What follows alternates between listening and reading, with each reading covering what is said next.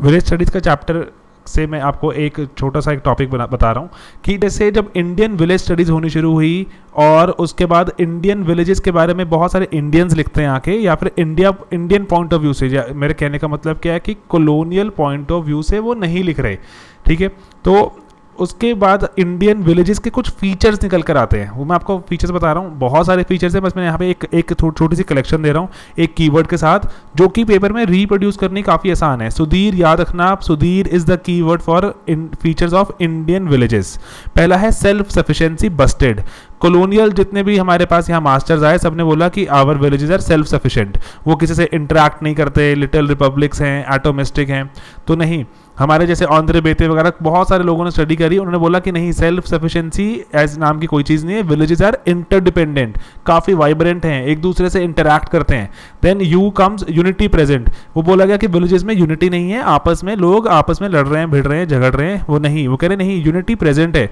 Villages क्योंकि बहुत सारे विलेजेस कास्ट के नाम पे बेस्ड हैं। बहुत सारे विलेजेस एक पर्टिकुलर सब कास्ट के नाम पे बेस्ड हैं। तो यूनिटी तो बहुत ही ज़्यादा प्रेजेंट है। एंड जजमानी सिस्टम के बारे में बात कर सकते हैं यहाँ पे कि जजमानी सिस्टम भी था, वो भी लोगों को बाँध कर रखता था। विलियम वाइजर की स्टडी है, दोबारा भी देखेंगे भी हम।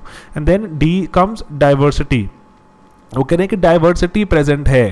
पहले वाले बोलते हैं कि डाइवर्सिटी नहीं है, कि हमारे विलेजेस में बहुत ही वो ऐसे जो कलोनी जितने कॉलोनियल मास्टर्स थे, वो कहते हैं कि ये बहुत ही फॉसिलाइज्ड हैं, कि बस जैसे बने शुरू हुए थे, वैसे ही रह गए। कोई डाइवर्स आइडिया नहीं आए, कुछ नहीं हुआ।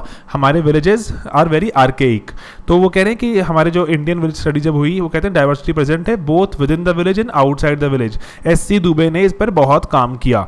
And then identity I is for identity villages identity की तरह यूज़ होते हैं। जैसे पंजाब में पर्टिकुलरली आप देखो तो सिस्टम आया था महलवारी सिस्टम महलवारी सिस्टम का मतलब क्या था?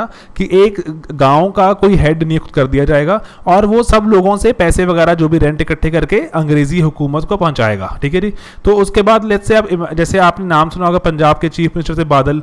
तो Badal is the name of a village तो विलेज से लोग आइडेंटिटी डिराइव करते हैं। जैसे आपने नाम सुना Khanna.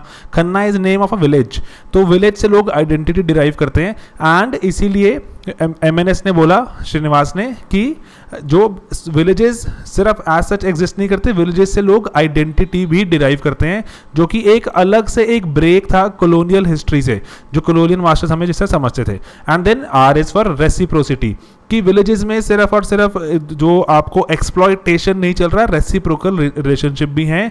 जैसे जजमानी सिस्टम विलियम वाइजर ने इस पर बहुत काम किया एंड वो बोलते हैं कि system is very reciprocal in nature and it is not that exploitative as has been told by very a lot of colonial masters तो सेल्फ सफिशेंसी बस्ट करी हमने कि नहीं सेल्फ सफिशेंट नहीं है इंटरेक्ट करते हैं, यहाँ वहाँ से यूनिटी प्रेजेंट है देन डाइवर्सिटी प्रेजेंट है within and outside Dubey का नाम लिख के आप कोड कर सकते हो। आइडेंटिटी का सोर्स बनता है पंजाब का महलवारी कोड कर सकते हो एमएनएस का आइडिया कोड कर सकते हो रेसिप्रोसिटी है ये विलियम वाइजर का। तो ये इंडियन विलेजेस जो इंडियन विलेज स्टडीज़ हुई हैं, उसमें से कुछ एक करेक्टरिस्टिक निकल कर आते हैं, जो आपको मैंने बताए। एंड एक और अपना नेक्स्ट वीडियो करेंगे, जिसमें हम, मैं आपको बताऊँगा कि वेरियस विलेज स्टडीज़ में क्या क्या परस्पेक्टिव आते हैं।